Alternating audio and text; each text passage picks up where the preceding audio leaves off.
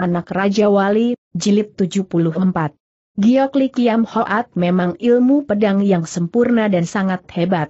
Karena itu, Giok Hoa menang di atas angin, setelah lewat 100 jurus, Kiang Lang Huasio jatuh di bawah angin.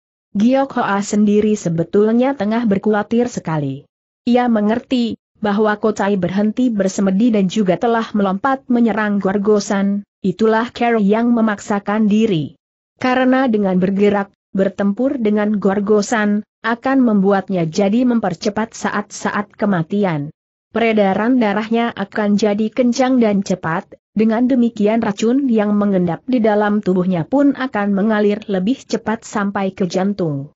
Di kala itu, lima orang pelayan rumah penginapan itu, yang tidak lain adalah anak buah Kiang Lang Hwasyo dan Gorgosan, Ketika melihat Gorgosan tengah terdesak hebat oleh serangan Kotai, segera juga mereka maju dengan serentak, tampak mereka telah menggerakkan golok masing-masing. Tiga orang di antara mereka memang telah terluka oleh Giok Hoa, akan tetapi luka mereka itu telah diobati, dan kini mereka bisa menyerang lagi dengan hebat kepada Kotai, untuk mengeroyok. Cuma luka si pelayan tua yang memang agak berat, karena di waktu itu tangan kirinya, sebatas sikunya, telah kutung, oleh tabasan pedang Giok Hoa. Maka sekarang di waktu menyerang Kotai, ia berlaku sangat hati-hati sekali, karena ia khawatir akan dibikin bercacat pula oleh Kotai, sebab memang ia mengetahui Kotai memiliki kepandaian yang jauh lebih tinggi dari kepandaian Giok Hoa. Sedikit demi sedikit gerakan Kotai mulai lemah dan lambat.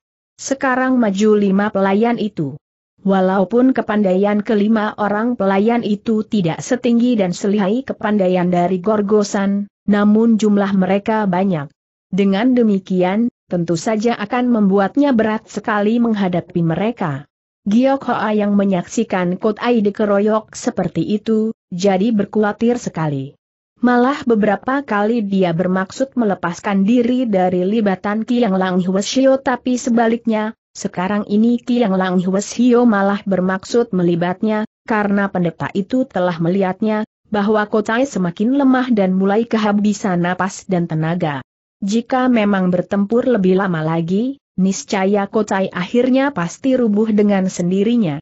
Karenanya, jika sebelumnya memang dia bermaksud melepaskan diri dari libatan Gyokoa, dan kemudian menolongi Gorgosan sekarang ini justru dia telah sengaja melibat terus gadis itu, dengan jurus-jurus yang mematikan.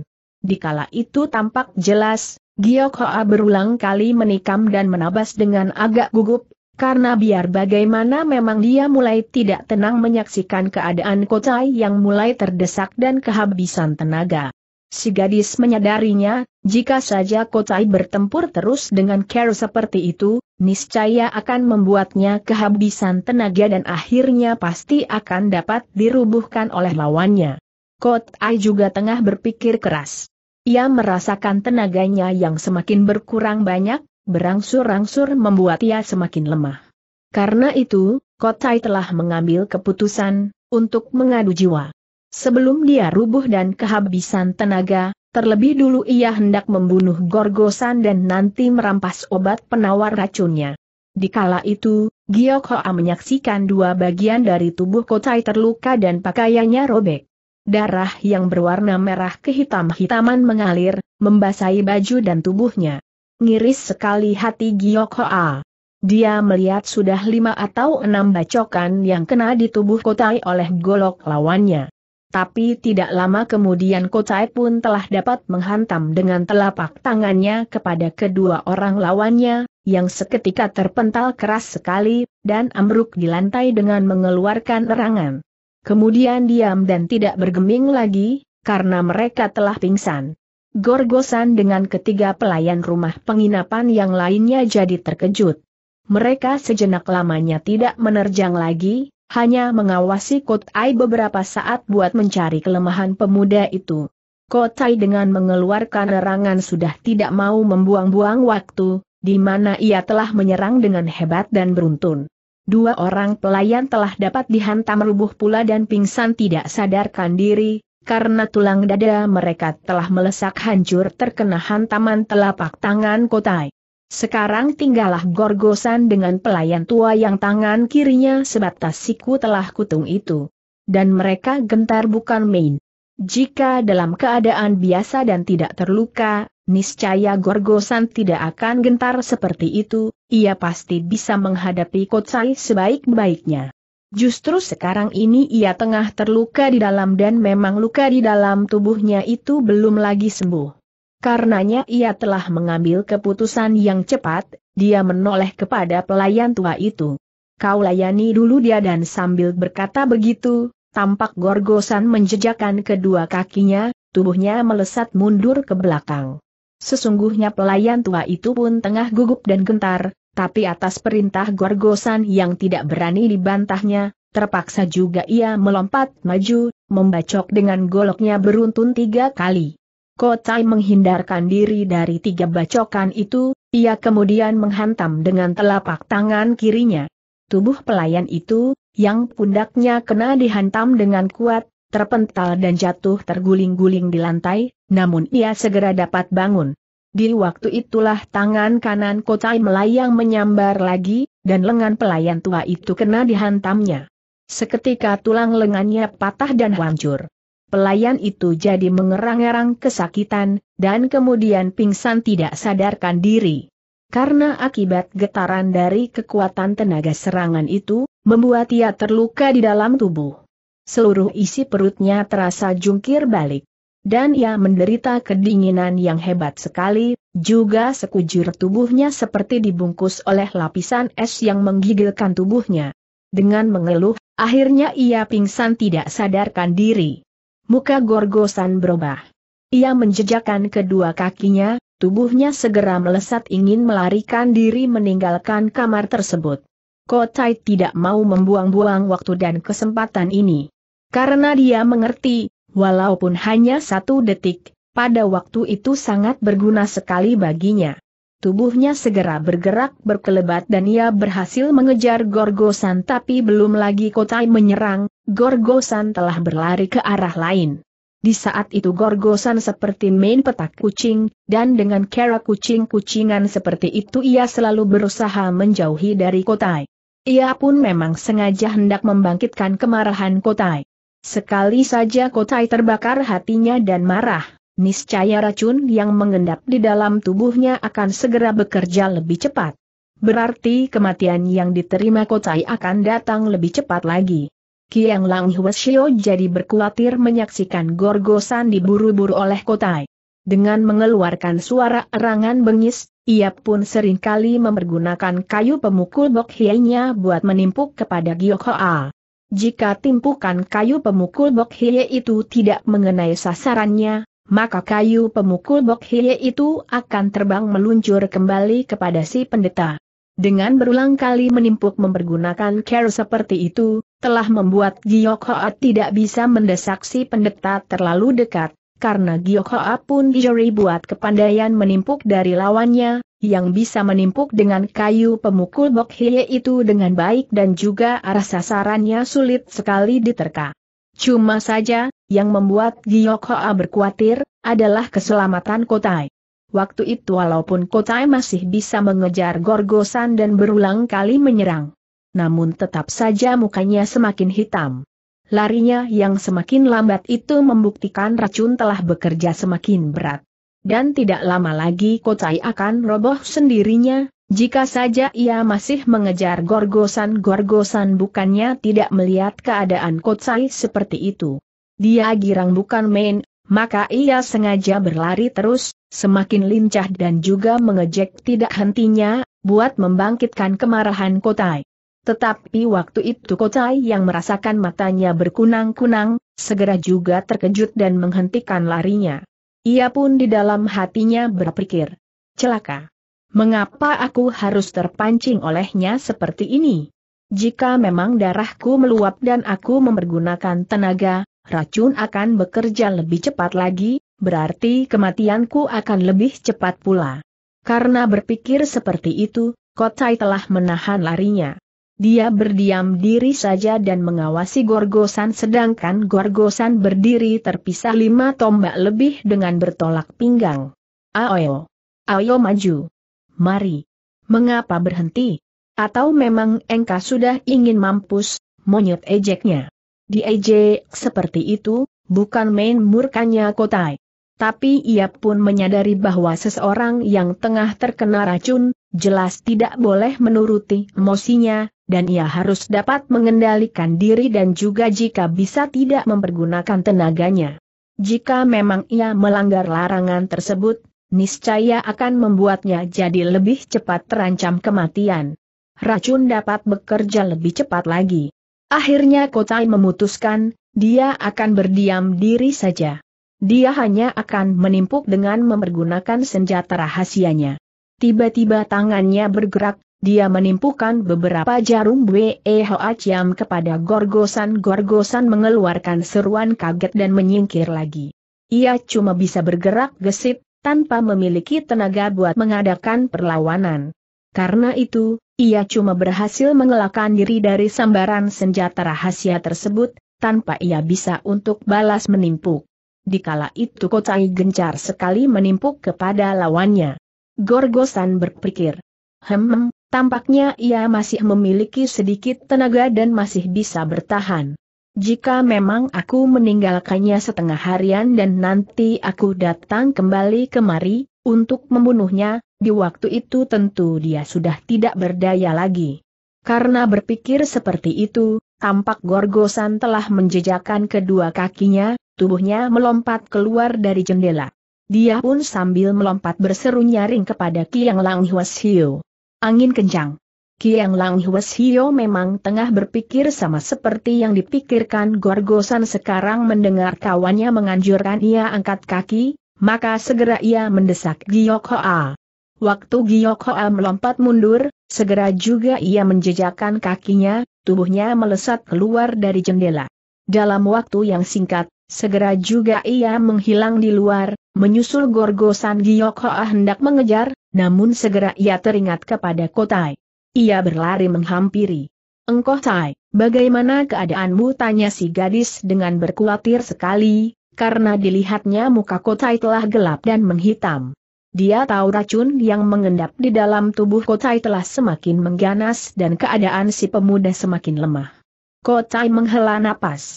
Tampaknya memang sulit buat aku lolos dari kematian menggumam si pemuda itu, yang di saat itu merasakan matanya berkunang-kunang dan kepalanya pusing.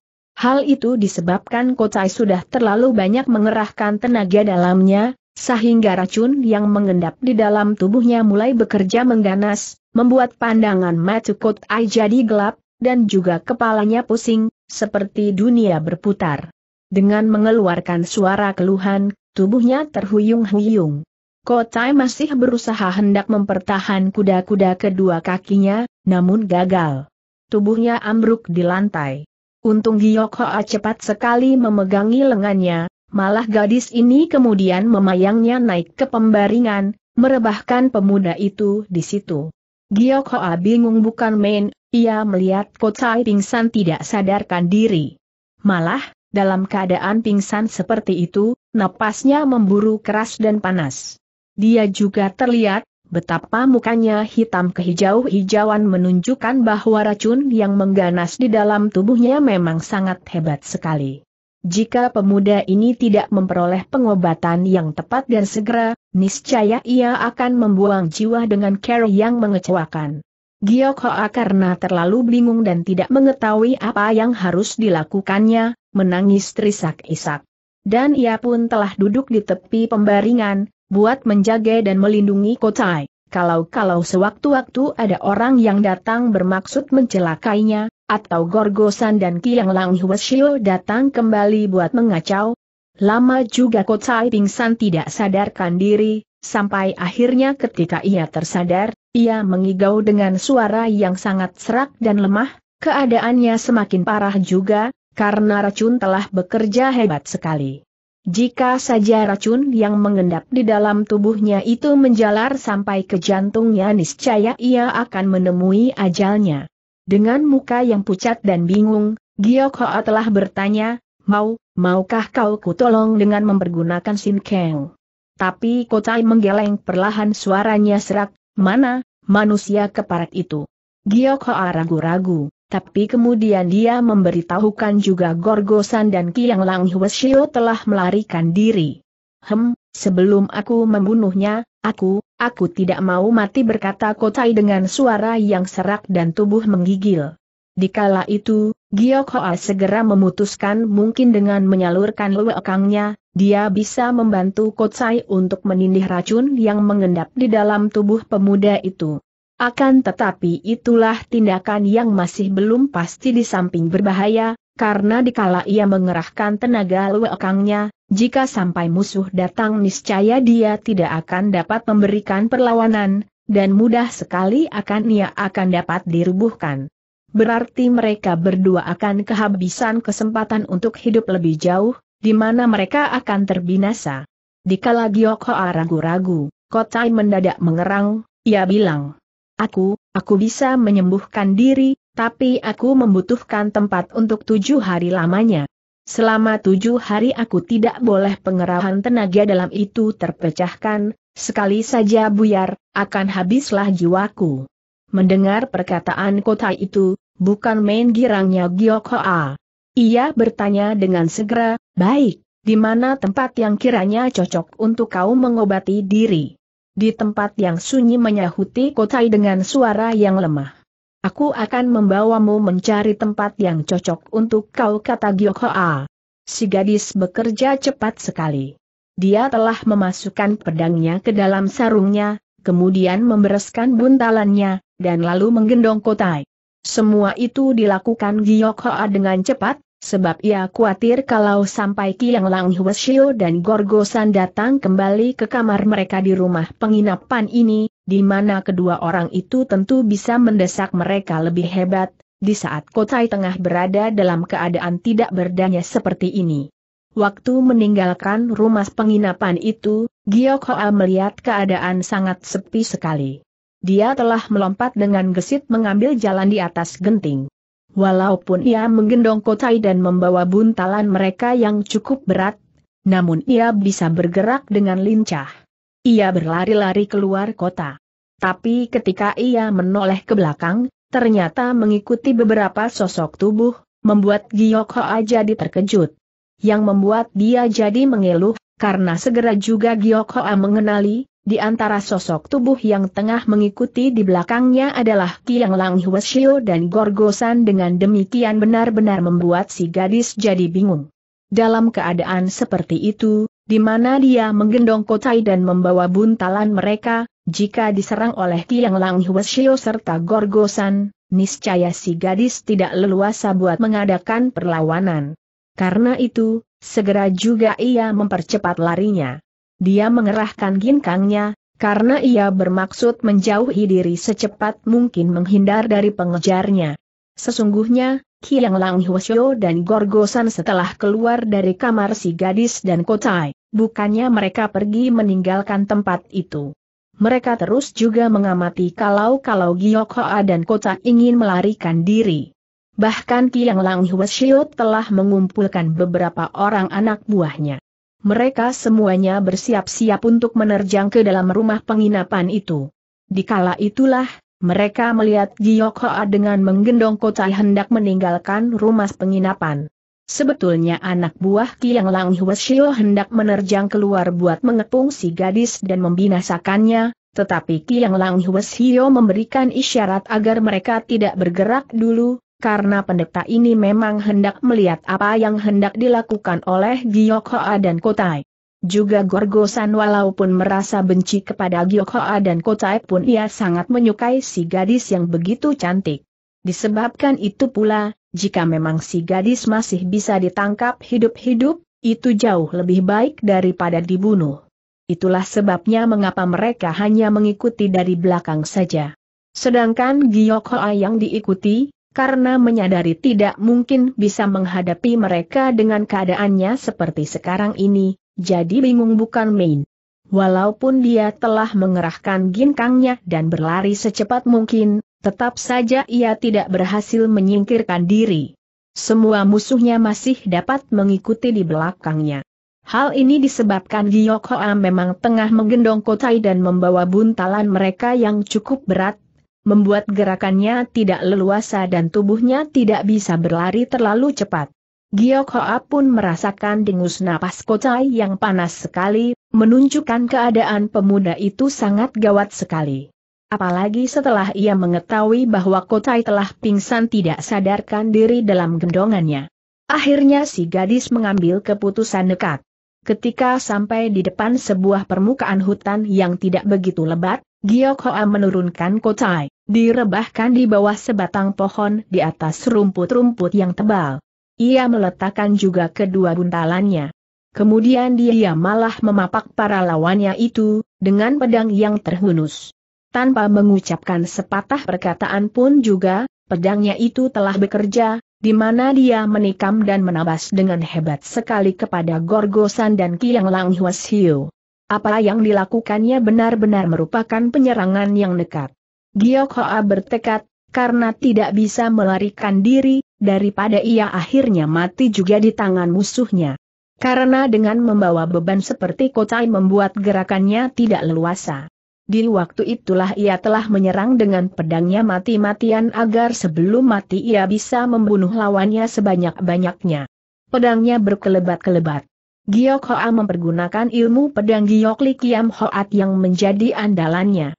Memang segera terdengar suara jerit kematian dari dua orang anak buah Kiang Lang Hwasio. Akan tetapi, si gadis juga tidak urung telah kena dilukai oleh Kiang Lang Hwasio, di mana pundaknya telah kena diketok dengan keras sekali oleh kayu pemukul bok si pendeta, sehingga dia merasakan pundaknya itu seperti juga menjadi patah. Untung saja itulah pundaknya yang sebelah kiri, dengan begitu dia masih bisa menyerang dengan pedang yang tercekal di tangan kanannya kalap sekali. Dia menikam dan melukai lengan Kiang Lang Hwasio. Gorgosan tidak ikut menyerang Giok Hoa melainkan dengan berlari-lari gesit dia menuju ke tempat di mana kotai tengah rebah tidak berdaya. Menyaksikan itu, Giok Hoa menjerit kaget, dan hendak memutar tubuh mengejarnya. Namun Kiang Lang Hwasyo dan anak buahnya segera melibatnya dengan serangan-serangan yang membuat si gadis tidak memiliki kesempatan untuk memutar tubuhnya mengejar Gorgosan Giok Hoa jadi panik, tubuhnya berkelebat ke sana kemari dengan lincah, pedangnya juga telah menyambar bergulung-gulung. Dengan Carol menyerang seperti itu, si gadis benar-benar telah memperlihatkan kelihayan Giok Lik Yam Hoat, apalagi memang dia tengah bingung dan menjadi kalap, maka setiap serangannya merupakan tikaman yang nekat. Cuma saja, karena memang Kiang Lang Hwasyo dan anak buahnya merupakan manusia-manusia licik, dengan sendirinya mereka selalu main menghindar. Mereka tidak mau melayani serangan si gadis, yang terpenting bagi mereka adalah mengepung terus gadis itu, agar Gorgosan memiliki kesempatan buat membunuh kota yang tengah rebah tidak berdaya di bawah sebatang pohon. Dikala itu terlihat sepasang mata Gorgosan memancarkan sinar yang buas dan bengis sekali. Dia memang kejam, dan sekarang karena ia telah terluka di dalam akibat pukulan kotai, dendamnya meluap. Sekarang dia hendak mempergunakan kesempatan ini buat membunuh kotai, yang dalam keadaan tidak berdaya itu. Mulut Gorgosan tampak tersenyum mengejek dan menakutkan. Jarak mereka terpisah tinggal dua tombak lagi. Gorgosan melihat kotai dalam keadaan pingsan tidak sadarkan diri. Tentu dengan satu kali menggerakkan tangannya, dia bisa membunuhnya dengan mudah sekali tanpa memperoleh perlawanan. Karena itu, dengan bernapsu dia berlari lebih cepat. Tiga kali lompatan dia telah berada di samping kotai. Tanpa membuang waktu lagi dia mengangkat tangan kanannya, bermaksud menepuk batok kepala kotai menjadi hancur dan remuk. Tapi, begitu tangan Gorgosan tengah meluncur, dan Giok Hoa menjerit kalap melihat Kotai terancam keselamatannya di tangan Gorgosan sedangkan dia tidak berdaya melepaskan diri dari libatan lawannya, sehingga dia tidak bisa melindungi Kotai. Dikala itulah, dari balik sebatang pohon telah berkelebat sesosok bayangan. Tangan sosok bayangan tersebut menyambar ke punggung Gorgosan duk punggung Gorgosan telah kena dihantam dan tubuhnya terpental jumpalitan di tanah. Sambil mengeluh perlahan dia memuntahkan darah segar, tubuhnya kemudian lunglai dan lemas tidak bisa bergerak lagi, karena ia telah pingsan tidak sadarkan dirinya lagi. Kiang Lang Huasio dan kawan-kawannya kaget tidak terkira. Demikian juga Giokoa. Tapi si gadis kaget bercampur dengan perasaan girang luar biasa. Orang yang telah menolongi Kotai, segera juga menyambar tubuh Kotai, yang dilarikan dengan gesit sekali lenyap ke dalam hutan. Giok Hoa berseru kaget, tapi ia tidak bisa melihat jelas penolong Kotai, karena orang itu bergerak sangat cepat dan gesit sekali, sehingga hanya dalam waktu beberapa detik, tubuhnya telah lenyap lagi ke dalam hutan dengan membawa serta kotai. Sungguh hal itu membuat Gioko jadi kalap. Tanpa mempedulikan Kiang Lang Huasio dan lainnya, Gioko berlari menyusul. Ia masih sempat menyambar kedua buntalannya, kemudian menerobos masuk ke dalam hutan, buat menyusul orang yang telah membawa kotai. Tapi berlari sekian lama, tetap saja ia tidak berhasil menemukan jejak orang itu, yang tampaknya memang sangat lihai dan memiliki ginkang yang mahir sekali, karena waktu ia muncul dari dalam hutan, menghantam punggung gorgosan, kemudian mengangkat tubuh kotai dan kembali lari masuk ke dalam hutan itu. Semua itu berlangsung hanya dalam beberapa detik saja, malah karena cepat dan gesitnya gerakan orang tersebut, membuat Giok tidak bisa melihat jelas keadaan muka orang itu. Si gadis cuma bisa melihat gumpalan warna hijau, warna dari baju orang tersebut. Mati-matian Giok mengejar terus masuk ke dalam hutan itu, ia mengerahkan seluruh ginkangnya, buat berlari secepat mungkin, untuk menyusul orang yang menculik Kotai, agar dia dapat dengan segera merebut Kotai kembali. Memang diakuinya, bahwa Kotai memiliki kepandaian yang sangat tinggi. Tapi dia dalam keadaan tidak berdaya, di mana dia tengah keracunan dan juga sedang pingsan. Orang yang telah menculiknya itu tidak diketahuinya dari pihak musuh atau kawan. Karena itu Giyokoa mengejar seperti kalap, menerjang banyak pohon-pohon dan terus juga berlari dengan kaki yang terluka oleh tusukan duri. Si gadis sudah tidak mempedulikan segala apa pun juga. Ia berlari terus dengan cepat. Cuma sayangnya orang yang menculik Kotai memang memiliki ginkeng yang tinggi luar biasa, sehingga dia sama sekali tidak meninggalkan jejak. Giok Hoa mengejar terus, juga memanggil-manggil nama Kotai. Tapi sampai suaranya serak dan ia pun lelah sekali, karena setengah harian berlari-lari terus, bahkan telah sampai di luar permukaan hutan di bagian lainnya, dia masih tidak berhasil menemui jejak dari orang yang menculik Kotai. Keadaan di hutan itu sunyi sekali. Sedangkan Kiang Lang Huasio tidak mengejarnya, karena mereka telah menyaksikan bahwa orang yang melukai Gorgosan dan kemudian menculik Kotai adalah seorang yang memiliki kepandaian tinggi. Karena itu, mereka tidak mengejarnya. Apalagi di dalam rimba persilatan memang terdapat satu pantangan, yaitu siapa pun adanya orang Kang Ou, jika memang bertemu dengan hutan, sekali-kali tidak boleh menerobos masuk ke dalam hutan, karena akan membuat orang itu menghadapi bahaya yang tidak kecil. Alasan itu pula yang akhirnya membuat Kiang Lang Huasio tidak mengejar dan perintahkan anak buahnya agar menggotong gorgosan mereka segera meninggalkan hutan tersebut, agar dapat cepat-cepat mengobati Gorgosan, yang keadaannya tampak sangat parah sekali, karena luka yang dideritanya itu pun tidak ringan. Giok Hoa akhirnya menjatuhkan dirinya duduk di bawah sebatang pohon. Dia duduk termenung di situ, karena dia tidak berhasil untuk mencari jejak dari penculik Kotai, dan berarti Kotai tidak berhasil dicarinya pula. Maka segera juga Gyokhoa berpikir untuk mengelilingi hutan itu beberapa saat lagi, dan setelah ia melakukannya, tetap saja tidak berhasil menemukan jejak si penculik dan kotai. Ia pun meninggalkan hutan itu dengan hati yang berduka bukan main.